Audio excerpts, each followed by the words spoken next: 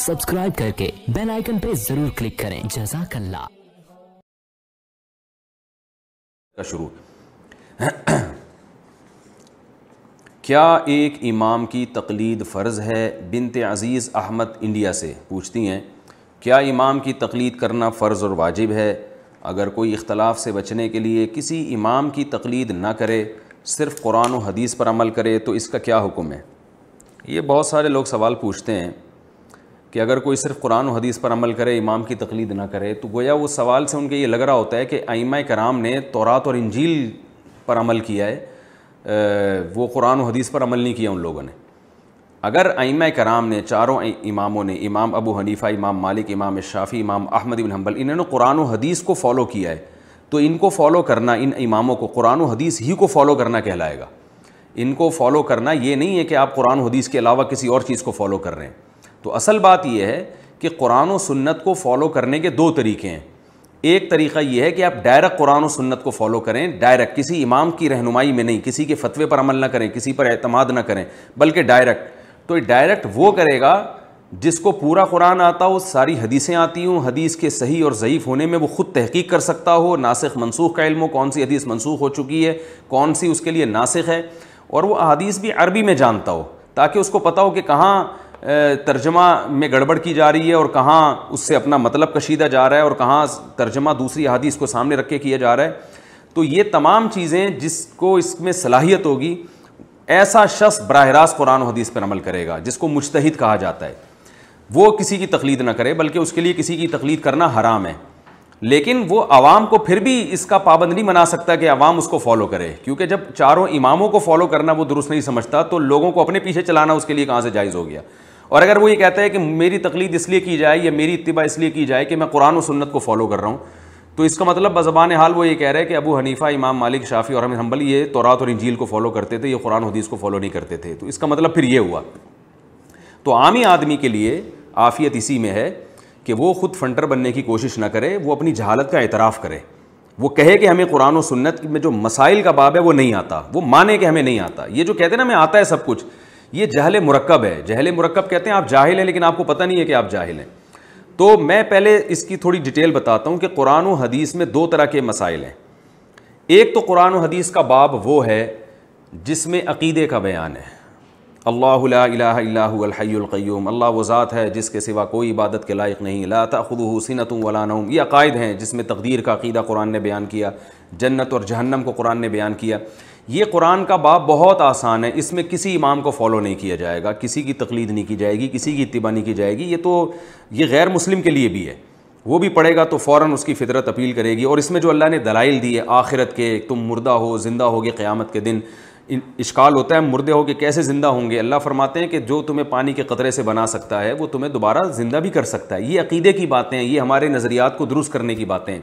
ये बातें सब जानते हैं कुरान में जो सबकी समझ में आती हैं। इसी तरह कुरान में जो वाजो नसीहत का चैप्टर है, जिससे हमें डराया जाता है और जन्नत की उम्मीदें दिलाई जाती हैं, पिछली उम्मतों के वाक़ात हैं। इन नफ़ीद अली का इबरतलबसार अल्लाह फरमाते हैं, जो भी बसीरत वाला है, उसके लिए इसमें इबरत का सामान है। मूसम का वाक़ और इसमें दाऊद अलैहिस्सलाम का वाक़ कैसे नेक लोगों को अल्लाह ने उरूज अता किया और कैसे बुरों को अल्लाह ने सज़ा दी, इसमें किसी इमाम की तकलीद नहीं की जाएगी। और इसमें मुस्लिम, गैर मुस्लिम भी सब बराबर हैं, क्योंकि कुरान हिदायत है और गैर मुस्लिमों के लिए भी हिदायत है। अब ज़ाहिर है, गैर मुस्लिम इमाम मुनीफ़ा इमाम शाफ़ी की तकलीद में थोड़ी हिदायत हासिल करेगा, वो तो डायरेक्ट कुरान को पढ़ेगा। तो कुरान के जो अकीदे का बाब है और नज़रियात की असलाह का जो बाब है कुरान में, ये जो चैप्टर है, ये सब के लिए और यही वजह है कि बहुत से गैर मुस्लिम कुरान पढ़ के इस्लाम कबूल कर लेते हैं उन्हें उन, उन्हें अपील करती हैं कुरान की तालीमत। कुरान के दूसरे मजामी वो हैं जिनका अमली ज़िंदगी से ताल्लुक़ है कि एक गैर मुस्लिम या एक मुसलमान जब कुरान पढ़कर उसका ईमान मज़बूत हो गया उसे जन्नत जहन्नम पे यकीन हो गया इतमान हो गया और अब अब वो इसके लिए अमली तौर पे तैयार है कि जिस चीज़ को अल्लाह ने हलाल किया मैं उसे हलाल समझूँगा जिसको अल्लाह ने हराम किया मैं उसे हराम समझूँगा और अमल करके दिखाऊँगा। तो अब अमल का बाब जब शुरू होता है तो इसमें भी दो किस्म के अहकाम हैं। एक अहकाम वो हैं जिनको कुरान ने बहुत वजाहत से बयान कर दिया। इसमें भी किसी इमाम की तकलीद नहीं है। जैसे कुरान ने कहा, ला तकरबुजना जना के करीब मत फटको। विरासत का माल मत खाओ। औरत की विरासत मत खाओ। और महर अदा कर दिया करो। उनकी मर्ज़ी के बग़ैर महर को को हाथ मत लगाओ। और जो है तलाक़ के बाद औरत पे जुल्म ना करो। इस तरह के जो माशरती बुराइयाँ हैं, माँ बाप की के बारे में वसीयत की कुरान ने कि अच्छा सलूक करो उनके साथ। और इस तरह के जो अहकाम हैं कुरान मजीद में, ये बहुत अल्लाह ने वजाहत से बयान कर दिए इनमें भी किसी इमाम की तकलीद नहीं की जाएगी। मैं अगर अपने बाप से अच्छा सलूक करूँ तो इसका मतलब नहीं कि इमाम मुनीफ़ा ने मुझे कहा है, इसलिए मैं अच्छा सलूक मैं कुरान ने कहा है, नबी सल्लल्लाहु अलैहि वसल्लम का वाज अहकाम हैं इस बारे में। तो ये वो मनसूस अहकाम हैं जिनके दो मतलब नहीं हैं। और इनमें नासिक और मनसूख का, की बहस ही नहीं है कि कौन सी आयत नासिक है, कौन सी मनसूख है, कौन सी बात की, कौन से पहले की। ऐसी बहस ही नहीं है। ये चैप्टर भी कुरान ने बहुत आसान रखा है तो इसमें भी आप किसी की तकलीद नहीं करेंगे। आगे हम जब गहराई में जाते हैं तो फिर कुछ कुरान की आयतें ऐसी हैं जिसमें इजमाल है। उनके दो मतलब भी निकल सकते हैं, या बाज़ दफ़ा हम देखते हैं कुरान की आयत हदीस से टकरा रही होती है, बज़ाहिर। ज़ाहिर है, हकीकत में तो नहीं टकरा रही, लेकिन हम अपनी कम इल्मी की वजह से हमें ऐसा लगता है कि ये दो एक दूसरे के अपोजिट जा रही हैं। बाज़ आयतें ऐसी होती हैं जिनके, के लगवी माने ही दो होते हैं, यानी दो मतलब निकल रहे होते हैं उसके। जैसे कुरान मजीद में आता है वलमतलक़ात यतरबस नबी अनफुसहिन सलासता कुरू कि जो तलाक़ याफ्ता औरतें हैं, वो तलाक़ के बाद तीन कर इद्दत गुजारेंगी, कर। अब कर का लफ्ज़ इस्तेमाल हुआ, जिसकी जमा कुरू आती है। अब कर अरबी में हैज़ को भी कहते हैं, और पाकी की अयाम को भी कहते हैं, तोहर को भी कहते हैं। अब इमाम हनीफ़ा ने इसका माना मुराद लिया है हैज़। लिहाजा उनके, उनका कौल ये है कि जब औरत को तलाक़ होगी तो तीन हैज़ गुजरने के बाद इद्दत पूरी होगी। इमाम शाफ़ी कहते हैं, नहीं, इससे मुराद है तोहर। लिहाजा जब औरत को तलाक़ होगी तो तीन दफ़ा जब पाकी की अयाम गुजरेंगे हैज़ आने के बाद तो फिर औरत की इद्दत पूरी होगी। अब हम अगर कुरान से पूछते हैं कि कर का क्या मतलब है तो कुरान तो अरबी में नाजिल हुआ और कर का मतलब अरब दोनों मानों में इस्तेमाल करते थे। तो ऐसी बहुत सारी आयतें कुरान मजीद में। फिर इसी तरह जब हम हदीस की तरफ़ जाते हैं तो अदीस भी बाज़ मजामी बहुत वजाहत से हदीस में बयान कर दिए रसूल सल्लल्लाहु अलैहि वसल्लम ने उनमें फ़ुहा का इख्तलाफ ही नहीं हुआ। इसलिए कि इतनी वजाहत से बयान कर दिए कि उसमें फ़ुहा की दो राय बनी नहीं है, उसमें सबका इतफ़ाक़ है। तो उन मसाइल में भी किसी की तकलीद नहीं की जाती, उनको मनसूस मसाइल कहा जाता है सरीहुद्दलाला यानी वो अहकाम वजाहत से बयान कर दिए और उनका मतलब भी बिल्कुल वाज है। लेकिन अदीस में भी हम जब जाते हैं गहराई में बहुत से अहकाम अदीस में ऐसे वारिद हुए हैं कि हमें एक हदीस मिलती है, उस हदीस के अपोजिट दूसरी हदीस मिलती है। अब दो हदीसों में टकराव हो रहा है, ऐसे मौके पे किस हदीस को तरजीह देनी है? तो ये काम फिर आमी आदमी का नहीं है मुश्तदीन का काम है। इसी तरह, कौन सी हदीस पहले की है, कौन सी बात की? बाज़ दफ़ा ये पता नहीं होता। मुश्तहिद इश्तहाद करके फ़ैसला करते हैं कि ये बात की है और ये वाली पहले की। लिहाजा ये बाद वाली को फॉलो करेंगे, पहली वाली को फॉलो नहीं करेंगे। हालाँकि तारीख़ों का इल्म नहीं होता, इसमें इजतहाद होता है। इस तरह बहुत सारी मिसालें हमें मिलती हैं। यही वजह है कि फिर फ़ुकहा का इसमें इख्तलाफ होता है। यानी इख्तलाफ होना इसकी अलामत है कि कुरान और सुन्नत में ये वाले मसले जिसमें उलमा का इख्तलाफ हुआ, ये इतने वाजे नहीं थे। अगर वाजे होते तो अबू हनीफ़ा और इमाम शाफ़ी जैसे लोगों का इख्तलाफ क्यों होता है इसमें? हालाँकि वो तो सारे हदीस के माहिर थे और ताबीन तब ताबीन के ज़माने में थे। इमाम अहमद बिन हम्बल तो इमाम बुखारी के इस में से हैं। उनका इमाम शाफ़ी से इख्तलाफ हुआ। हालाँकि इमाम शाफ़ी, इमाम अहमद बिन हम्बल से भी ज़्यादा सीनियर हैं। इसी तरह इमाम मालिक तो सबसे सीनियर हैं। अदीस में सबसे बड़े आलिम समझे जाते थे, लेकिन इमाम शाफ़ी का उनसे इख्तलाफ हुआ। फिर हम देखते हैं कि इमाम मालिक अपनी मुवत्ता में हदीस लेकर आ रहे हैं, फतवा उसके ख़िलाफ़ दे रहे हैं। ऐसी भी बहुत सी मिसालें हमें मिलती हैं। इसलिए कि वो कह रहे हैं कि ये हदीस में लेकर तो आ रहा हूँ, लेकिन इसका ये मफहम नहीं है। इसका मफहम कुछ और है। दूसरे उसका वही मफहम ले रहे हैं। तो ये वो बहस है कि ये, यानी ये अहकाम हदीस में हैं। लेकिन वाजह दलाला नहीं है। और कुछ ऐसे हैं जो सिरे से हदीस में है ही नहीं उनमें इश्तहाद है। तो ऐसे इन इस किस्म के जो अहकाम होंगे उसमें आमी आदमी की ज़िम्मेदारी है कि वो इनमें किसी एक इमाम को फॉलो करे और बाकियों को भी बरहक समझे। वो ये कहे कि मैं ख़ुद कुरान हदीस पर अमल करूँगा ये दावा एक जाहिल आदमी यानी इन मसाइल में कि मैं बरह रास्त कुरान हदीस पर अमल कर, करूँगा तो ये ये इसकी अलामत है कि ये अपने जहल का इतराफ़ नहीं कर रहा आता वाता कुछ भी नहीं है, लेकिन अपने आप को इन अइमा से भी बड़ा समझ रहा है एक आदमी। ऐसे ही है जैसे एक आमी आदमी डॉक्टर से कहे कि मैं डॉक्टर मैं इलाज आपसे नहीं कराऊँगा, मैं मेडिकल साइंस की किताबें पढ़ के खुद दवा खाऊँगा। तो इसका मतलब ये कि आप अपने आप को, आप वो बेवकूफ़ है जो चार साल जिसने मेडिकल कॉलेज में गुजारे और दो साल उसने ट्रेनिंग भी की और सारी दुनिया उसको डॉक्टर कह रही है। तो ये जो चारों अइमा कराम हैं इन्होंने पूरी ज़िंदगी कुरान और सुन्नत के सीखने में लगाई और पूरी उम्मत ने गवाही दी है कि ये कुरान और सुन्नत के बहुत बड़े मुश्तहिद थे और सदियों पूरी उम्मत ने इनको फॉलो किया है। बल्कि जो इस्लामी हुकूमतें कायम हुई हैं, उसमें इन्हीं का कानून नाफिज किया गया है। यहाँ तक कि अब भी सऊदी अरब में इमाम अहमद बिन हम्बल का फ़िका नाफिज है। खिलाफत उस्मानिया में फ़िका हनफी नाफिज था। उन्दलुस की जो खिलाफत है, उसमें फ़िका मालिकी नाफिज था। मलेशिया में अब तक फ़िका शाफी को फॉलो किया जा रहा है। तो हज़ार साल से ज़्यादा अरसा हो गया, उम्मत इन्हीं में से किसी एक से जुड़ी हुई है और इन्हीं में से किसी एक को फॉलो करती रही है। जैसे उम्मत ने हदीस के बाब में इमाम बुखारी को इमाम माना, इमाम मुस्लिम को इमाम माना तो फ़िक़ह के बाब में, यानी मसाइल का इल्म, इस बाब में उम्मत ने गवाही दी है कि अबू हनीफ़ा, इमाम मालिक, शाफ़ी और अहमद हम्बल ये उम्मत के मुश्तद इमाम हैं। फ़िक़ा को मसाइल में हम इनको इमाम मानते हैं।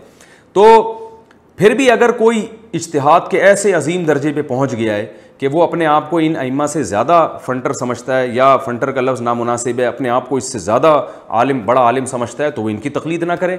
वो ठीक है, वो क्या मैं डायरेक्ट कुरान और सुन्नत को फॉलो करूँगा। कोई इस मकाम तक अगर पहुँच गया है कि वो समझता है कि मैं इनसे भी आगे जा चुका हूँ तो ठीक है वो, लेकिन वो अपनी तकलीद फिर भी नहीं करवा सकता।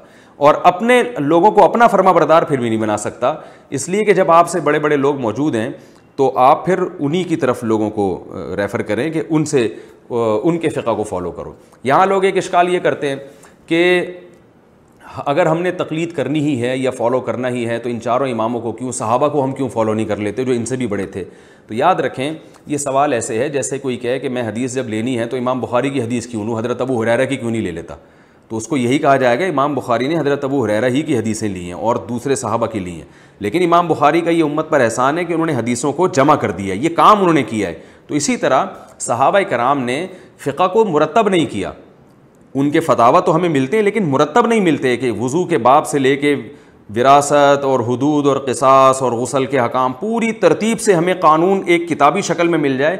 ये काम साहबा ने किया नहीं है। ये अमा अरबा के शागिर्दों ने किया है। तो लिहाजा इनका फ़िका मुदवन है, इसमें सब चीज़ें मिल जाएँगी। है ये वही फ़िका जो सहाबा कराम का था।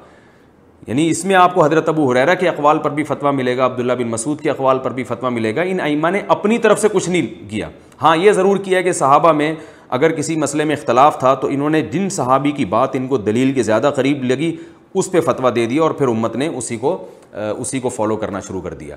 तो इसलिए ये जो आपने सवाल किया है ना कि अगर हम तकलीद ना करें और हम कुरान और सुन्नत को फॉलो करें, ये सवाल ही गलत है।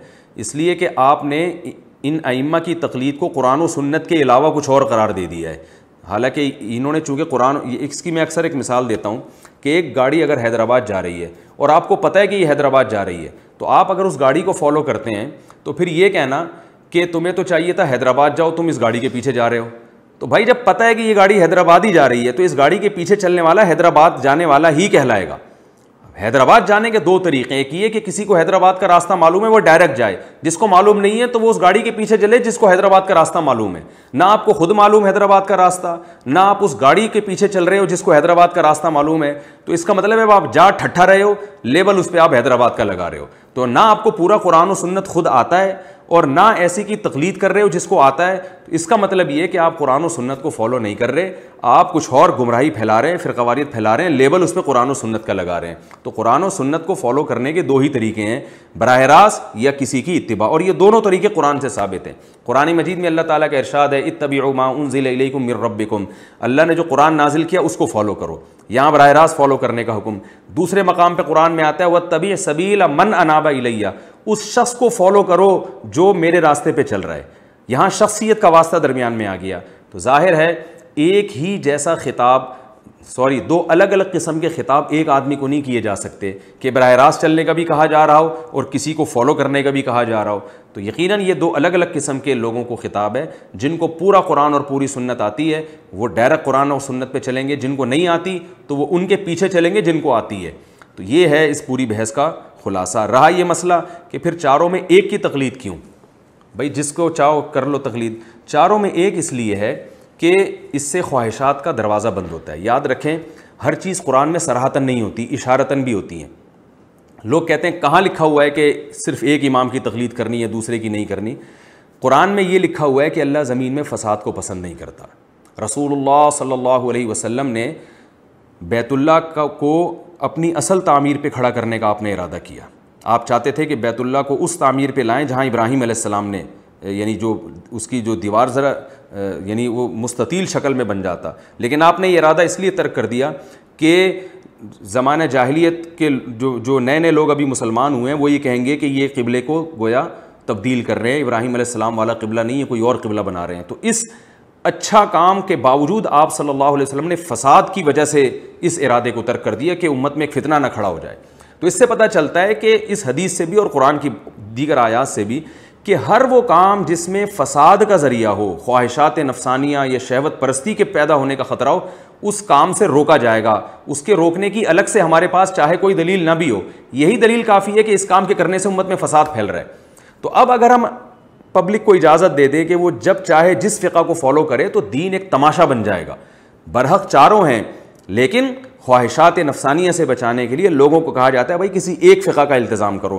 क्योंकि बाज़ दफ़ा ऐसे होता है कि आपको एक फ़िका में एक सहूलत मिल रही है, लेकिन दूसरे फ़िका में तंगी है। तो आप इधर आ जाते हैं। मैं इसकी एक बेहतरीन मिसाल देता हूँ। मैंने बयान में भी ये बात की है कि एक साहब का मेरे पास फ़ोन आया। लाहौर से वो कहने लगे, मैं इस लड़की, एक लड़की से शादी करना चाहता हूँ और उसके वालिद राज़ी नहीं है। तो मैं थोड़ा समझ गया कि मुझे कुछ अंदाज़ा हो मैंने कहा, आप अहल हदीस हैं? उसने कहा हाँ मैं अहल हदीस हूँ। मैंने कहा, अहल हदीस के मसलक में, अहल हदीस उलमा की जो राय है, वो ये है कि लड़की का निकाह उसके बाप की मर्ज़ी के बगैर नहीं होता। तो मुझे कहने लगे, मैं किसी मसलक वसलक को नहीं मानता, मैं कुरान और सुन्नत को मानता हूँ, मुझे कुरान हदीस की रोशनी में जवाब दें। मैंने उनसे एक बात कही, मैंने कहा, आज तक आप हर मसला अहल हदीस आलिम से पूछते आए हो। और जो मसला उन्होंने बता दिया, जो दलील उन्होंने दे दी, उस पर आप अतमाद करके बैठ गए। इस पूरी ज़िंदगी में आपने कभी मुझसे किसी मसले के लिए रबता नहीं किया। कि जी, मुफ्ती साहब, आप बताएँ कि ये हमारे अहल हदीस ने जो ये फतवा दिया है, ये कुरान और सुन्नत की रोशनी में दुरुस्त है या नहीं? मैंने कहा स्पेसिफिक इस फतवे के बारे में आपको कुरान और सुन्नत का ख्याल क्यों आ रहा है? यकीनन ये शहवत परस्ती है कि आपको जब तीन तलाक को एक कहना था तो अहल हदीस के फतवे को फॉलो किया। अब कोई लड़की से इश्क हो गया और वो जनाब आपको बहुत ज़्यादा पसंद आ रही है और उसमें अब्बा राज़ी नहीं है तो यहाँ फ़िक हनफी के मुफ्तियों से फतवा लिया जा रहा है। ये शहवत परस्ती है, इसको कोई भी हलाल नहीं कहता। अल्लाह इबन तैमिया रही ने एक बड़ी अच्छी मिसाल दी है कि एक शख्स निकाह करता है और गवाह उसके फासिक होते हैं। इमाम शाफ़ी कहते हैं कि फ़ासिक गवाहों की मौजूदगी में निकाह नहीं होता। लेकिन इसने कहा कि अबू हनीफ़ा रहमल्ला की राय ये है कि निकाह हो जाता है। मैं इस मामले में इमाम अबू हनीफ़ा की राय को फॉलो कर रहा हूँ और इसने निकाह कर लिया। अब गुस्से में आके धड़ाधड़ तीन तलाक़ें दे देता है। अब तीन तलाक़ें देने के बाद तो इमाम शाफ़ी भी कह रहे हैं, निकाह ख़त्म हो गया, इमाम अबू हनीफ़ा भी कह रहे हैं। लेकिन ये कहता है कि इमाम शाफ़ी के फ़िका के मुताबिक तो मेरा निकाह सिरे से हुआ ही नहीं था, क्योंकि गवाह फासिक थे। जब निकाह ही नहीं हुआ तो ये औरत अजनबी है, लिहाजा तीन क्या दस भी दे दी तो कुछ भी नहीं हुआ, लिहाजा मैं दोबारा से निकाह कर सकता हूँ। तो ये प्रैक्टिकली ये फसाद होने लगा था। और ये हकीकत है, आप वज़ू करके आए। वज़ू करके आए और किसी औरत को आपका हाथ लग गया। इमाम शाफ़ी कहते हैं, औरत के हाथ लगने से ही आपका वज़ू टूट गया। आप कहते हैं, मैं इमाम मुनीफ़ा के फ़िका को फॉलो करता हूँ, उनके नज़दीक हाथ लगने से वज़ू नहीं टूटता। थोड़ी देर में आपका ब्लड निकला, खून निकल के बह गया। अब लोग कह रहे हैं, भाई, आप वज़ू करो दोबारा।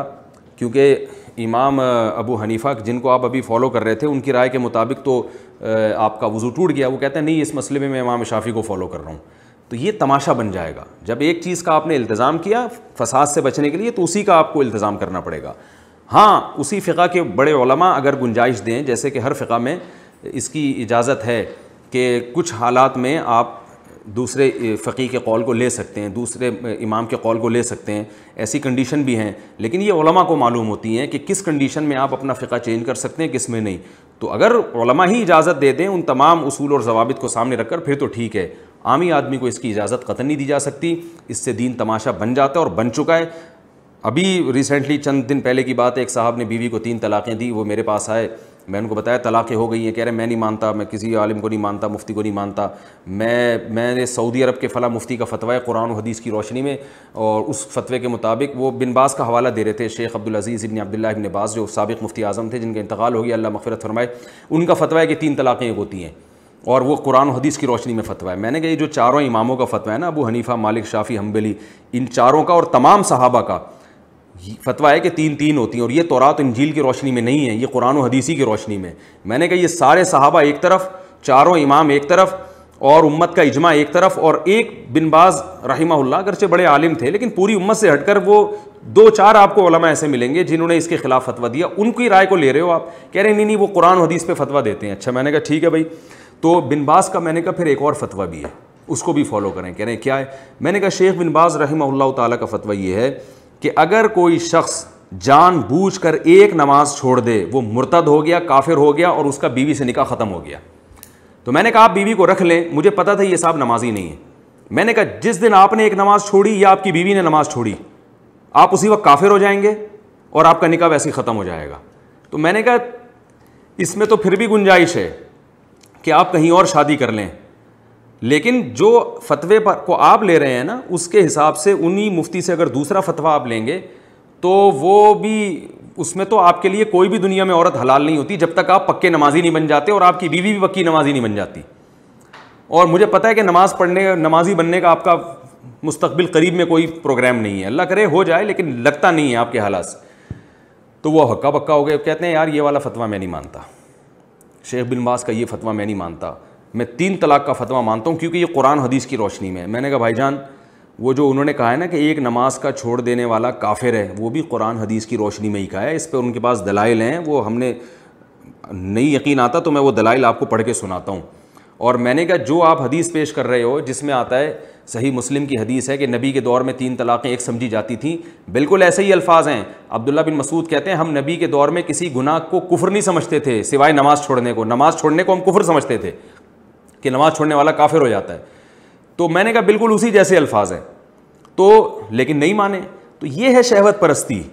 एक मसलक को फॉलो करने का इसीलिए कहा जाता है कि चारों फ़िका, हनफी, मालिकी, शाफ़ी, हम्बली बिल्कुल दुरुस्त हैं, बिल्कुल बरहक हैं, इश्तहादी इख्तलाफ है। रसूलुल्लाह सल्लल्लाहु अलैहि वसल्लम ने इरशाद फरमाया मुश्तही जब इश्तहाद करता है, अगर वो दुरुस्त राय तक पहुँचे तो दो अजर, अगर गलती करे तो भी एक अजर मिलता है। तो मुश्तदीन ने अपनी सवाबदीद के मुताबिक पूरी रिसर्च करके उम्मत के सामने पेश कर दी। अब उम्मत को मज़ीद रिसर्च इन मसाइल में नहीं करनी चाहिए, जदीद मसाइल में रिसर्च करना चाहिए। जो मसाइल हल हो चुके हैं, उनमें से आप किसी भी फ़िका को फॉलो कर लें।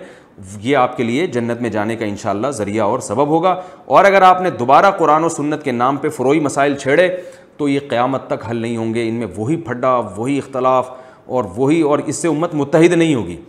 आपने जैसे बताया ना कि इख्तलाफ से बचने के लिए अगर कोई किसी इमाम की तकलीद ना करे। अगर आप तकलीद नहीं करते किसी इमाम की तो इख्तलाफ कम नहीं होगा, बढ़ेगा। क्योंकि हर शख्स अपनी तहकीक मार्केट में लाएगा, जैसे कि ला रहा है और उस पर कुरान और सुन्नत का लेबल और फिर एक दूसरे के ख़िलाफ़ तान व तशनी, एक दूसरे के ख़िलाफ़ कीचड़ उछालना, ये जो कुछ हमारे माशरे में हो रहा है, ये तो होगा। और बात यह है कि वो फिर पूरे तौर पर कुरान और सुन्नत को फॉलो भी नहीं करते। एक हदीस सामने होती है, दूसरी सामने नहीं होती। एक हदीस को आप सही समझ रहे हैं, दूसरा इमाम उस हदीस को सही समझ ही नहीं रहा, या एक हदीस को वो सही समझ रहा है, आप सही नहीं समझ रहे। तो ये हदीस की सेहत का इख्तलाफ, इसमें भी आपको तकलीदी करनी पड़ती है। पूरे पूरे ने रिसाले लिखे हैं इस पर कि कौन सी हदीस सही है, कौन सी ज़यीफ़ है।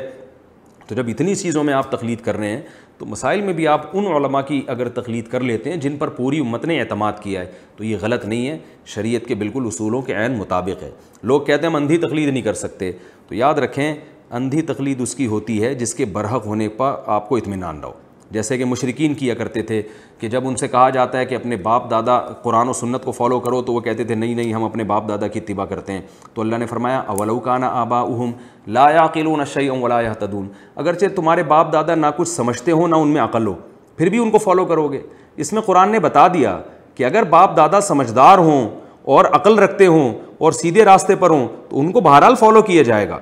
जैसे कि यूसुफ अलैहिस्सलाम ने जेल में कहा था, वह तबा तो मिलता आबाई, मैं अपने बाप दादा की दीन की इतबा करता हूँ, इब्राहिम इस्माइल और इसहाक। तो पता चला कि अगर किसी इमाम का दलाइल से बरहक होना साबित हो जाए, ये साबित हो जाए कि ये कुरान और सुन्नत को फॉलो करते हैं तो उस इमाम को फॉलो करना, कुरान और सुन्नत ही को फॉलो करना कहलाएगा, ये अंधी तकलीद नहीं कहलाएगी।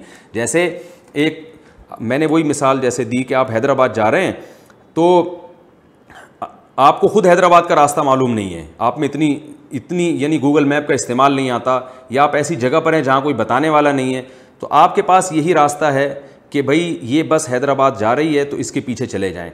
लेकिन अगर आपने बस ऐसे ही किसी बस के पीछे चलना शुरू कर दिया, एक आदमी ने बोल दिया था हैदराबाद जा रही है, आप उसके पीछे चल गए तो ये अंधी तकलीद है। लेकिन आपने पूरी तहकीक कर ली, ड्राइवर से मालूम किया, और बहुत सारे लोगों से की गवाही हो गई कि भाई, ये वाकई हैदराबाद ही जा रही है।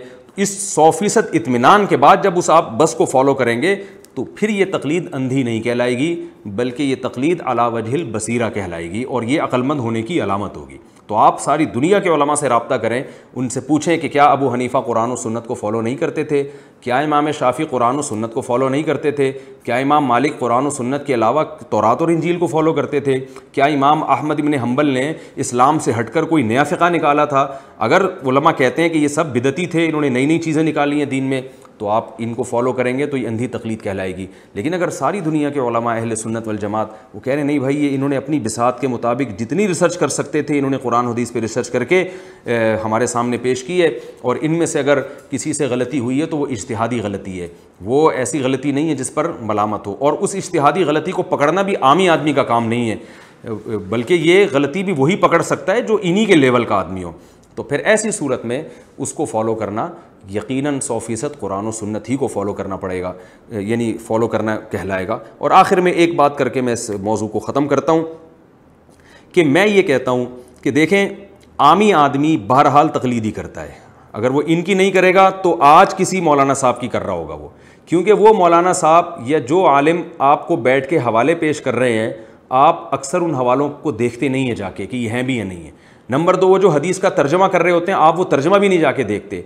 नंबर तीन, उस हदीस के ख़िलाफ़ भी कोई दूसरी हदीस मौजूद है, ये भी आप नहीं देख रहे होते। तो ये सारे काम के बावजूद आप मुकलद नहीं कहलाते, हैरत इस पर है। हालाँकि आप बहुत ज़्यादा तकलीद कर रहे होते हैं। तो मैं ये कहता हूँ, जब करनी आपने तकलीद ही है तो फिर बेहतर नहीं है कि किसी बड़े इमाम और मुश्तहिद की की जाए। और अहम बात यह भी है कि बाज़ लोग कहते हैं कि बाज़ चीज़ें ऐसी हैं जिसमें इमाम हनीफ़ा का कौल बिल्कुल सही हदीस के ख़िलाफ़ होता है। और उसमें तो कोई लॉजिक बन ही नहीं रही होती।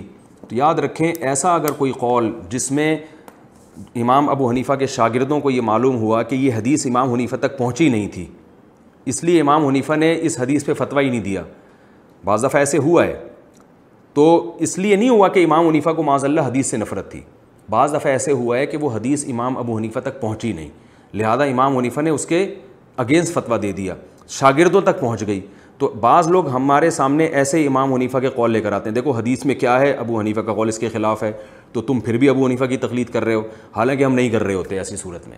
इमाम हनीफ़ा के बहुत से अखबाल ऐसे थे कि इमाम साहब तक वो हदीस पहुँची नहीं, या वो बिल्कुल वाजह दलाला थी तो उसमें फिर फ़िक़ हनफी में इमाम अबू हनीफ़ा के कौल को छोड़ दिया गया है। इसकी बहुत सी मिसालें इमाम अबू हनीफ़ा रही ताली के नज़दीक जो हर भी काफिर है, उससे सूद लेना जायज़ है। हालाँकि फ़िक़ हनफी में हनफिया इसकी इजाज़त नहीं देते। वो कहते हैं, हरबी से भी जो जंग जिससे हो रही हो ना काफिर से, उससे भी सूद लेना हराम है। उससे भी सूदी लेन देन हराम है। इमाम अबू हनीफ़ा के यहाँ माँ बच्चे को ढाई साल तक दूध पिला सकती है। फ़िक़ हनफी में दो साल के बाद दूध पिलाना जायज़ नहीं है। इमाम हनीफ़ा के इस कॉल पर फ़िक़ हनफी में फतवा नहीं दिया गया। और बहुत सारी मिसालें मैं पेश करूँगा तो वक्त बहुत ज़्यादा हो जाएगा। जिसमें हमने इमाम हनीफ़ा के कौल पर हमारे मशाइ ने फतवा नहीं दिया। लेकिन इसमें भी हम ये कहते हैं कि एक आम जाहिल आदमी को ये इख्तियार नहीं है कि चंद उर्दू किताबें पढ़ ले या यूट्यूब पे चंद क्लिप देख कर वो खुद से फ़ैसला करता पड़े करता फिरे कि मुझे इसमें इमाम हनीफ़ा के कौल समझ में नहीं आ रहा, मैं इसमें फ़लाने कौल को फतवा। आप जाहिल हैं, आप अपनी जहालत का इतराफ़ करें, आपको कुछ भी नहीं आता। ये काम मशाइ पहले कर चुके हैं, इससे फ़ारग हो चुके हैं। शाफ़ी फ़िका में भी बाज़ इमाम शाफ़ी के अकवाल ऐसे हैं जिसको फ़िक़ शाफ़ी में फ़ॉलो नहीं किया गया। फ़िक़ हम्बली में भी इमाम अहमद बिन हम्बल के बाद अकवाल ऐसे हैं जिसको हनाबिला ने उनको फॉलो नहीं किया। इमाम मालिक के भी बाज़ अकवाल ऐसे हैं जिनको मालिकिया ने नहीं लिया। तो जो कौल बिल्कुल कुरान और सुन्नत से मुतसादिम नज़र आया उसकी वजह कुछ भी हो सकती है। बड़ी वजह तो यही थी कि वो हदीस उन तक पहुँची नहीं, फतवा देते। तो उसमें आपको फंटर बनने की बिल्कुल ज़रूरत नहीं है कि आप फैसला करें। ये काम ओलमा पहले कर चुके हैं, क्योंकि इस्लाम 1400 साल पहले आया है और इस पर रिसर्च का काम सदियों पहले मुकम्मल हो चुका है। अब किसी नए रिसर्चर को उठ के उम्मत में फसाद पैदा करने की चंदा ज़रूरत नहीं है। इससे उम्मत में जोड़ पैदा नहीं होगा, बल्कि तोड़ पैदा होगा। और इतनी तकरीर के बाद भी अगर आपको समझ में नहीं आता तो ठीक है भाई, आप एक पाँचवा मसलक बना लें और उस पर कुरान और सुन्नत का लेबल लगा लें। मकसद आपका भी अगर अच्छा है तो हमें कोई एतराज़ नहीं है। लेकिन आप गुमराह ना करें उम्मत को। जो इन मसालिक में से किसी एक को फॉलो कर रहे हैं, उनको ये ना कहें कि कुरान और सुन्नत को फॉलो नहीं करते। ठीक है, आपकी समझ में नहीं आता तो गन पॉइंट पे किसी को मजबूर नहीं किया जा सकता। जो भी कुरान और सुन्नत को हुज्जत मानता है, किसी भी उनमान से वो हमारा भाई है और कलमा गो है, हम उससे मोहब्बत के जो है वो तलबगार हैं, हम उससे निकाह को जायज़ समझते हैं और उससे मामला, माली लेन देन को जायज़ समझते हैं कि क्योंकि अहल सुन्नत वल जमात के जो बुनियादी अकायद हैं, उसमें अगर वो हमारे साथ शरीक है, वो बुनियादी अकायद यही हैं, आखिरत पर ईमान, तमाम सहाबा से महब्बत और तमाम मुहदसिन और बड़े बड़े फ़ुकाहा हैं, उनका एहतराम करना जिसमें आइम अरबा भी दाखिल हैं। और इन बुनियादी चीज़ों में अगर वो हमारे साथ शरीक है, इन बुनियादी अकायद में तो फ़रोई इख्तलाफ अगर हो भी जाता है तो फिर हम बहरहाल उसको गुमराह नहीं कहते। लेकिन हमारी राय यही है कि इस ज़माने में किसी एक को फॉलो अगर आप नहीं करेंगे तो उम्मत में जोड़ नहीं होगा, बल्कि फसाद पैदा होगा। लिहाजा जो बहसें हो चुकी हैं, उनकी फ़ाइलों को समेट दिया जाए, लपेट दिया जाए, और अब उन मसाइल पर काम किया जाए जिन पर पहले काम नहीं हुआ। अल्लाह ताला अमल की तोफ़ी अता फरमाए। सोने की